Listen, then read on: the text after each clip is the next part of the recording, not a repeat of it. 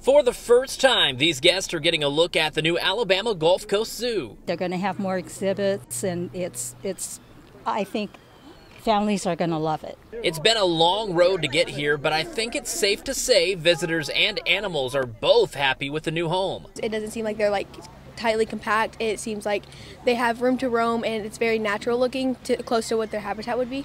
The original zoo location weathered the years, but the new zoo has more space and more to offer throughout the park. The big cats is always my favorite thing, and, and they're up and running around this morning, and that really kind of just tickles me all the way through. I, love, I like that a lot. A seated zip line and safari cars are just two of the new additions here at the zoo. If you've been to the old location and you think you've seen it all, well, think again. I will miss them from the old location because I lived close and could hear the lion roar, and I'm going to miss that. But this is beautiful. Now we can finally take pictures and post about the new zoo that's officially open for business. In Gulf Shores, I'm Blake Brown, WKRG News 5.